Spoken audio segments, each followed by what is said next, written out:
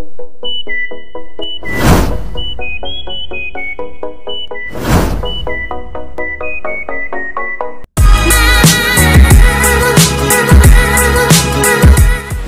mga idol? Good morning.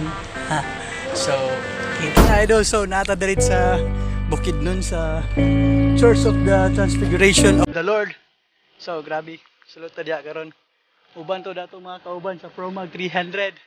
Hi guys.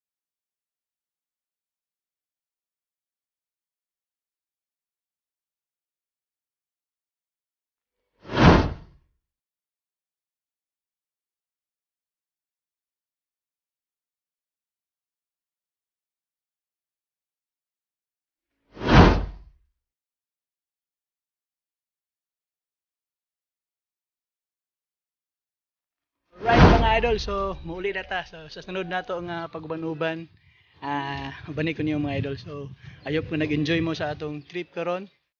And before ah, before ko maguli, ah kung bago pa ka sa akong channel, please subscribe and hit the notification bell button para perbe ka update sa mga videos nga kay pam-post mga lodi. So bye-bye.